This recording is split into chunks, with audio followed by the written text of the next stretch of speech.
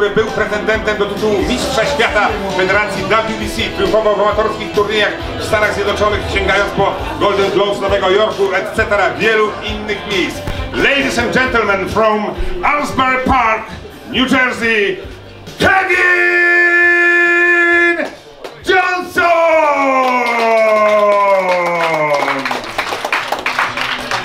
Oczywiście Kevina nie trzeba specjalnie przedstawić, kilkadziesiąt walk zawodowych, zdecydowanie większość kończona zwycięsko. No i właśnie w tej rywalizacji z Mariuszem Bachem będzie chciał pokazać, że wciąż jeszcze jest gladiatorem, ciągle zawodnikiem, który może w każdym miejscu na świecie skutecznie zawalczyć.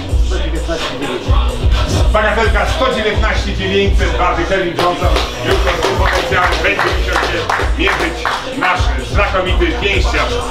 teraz, proszę Państwa, posiadacz pasa WBC International, e, mistrz federacji TWBA, pretendent do tytułów najszacowniejszych federacji w boksie zawodowym, nasz wspaniały, niezwykle ambitny, sympatyczny pięściarz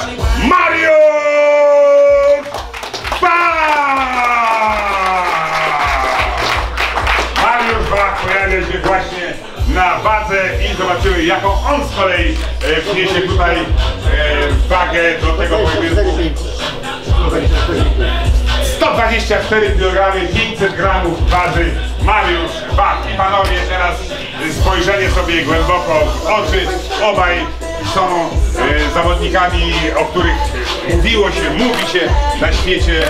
Obaj mają bardzo bogate kariery zawodowe i właśnie ci dwaj goście jutro tutaj w tym malowniczym miejscu w Konarach będą toczyli rywalizację w tej niesamowitej, pięknej skądinąd scenerii.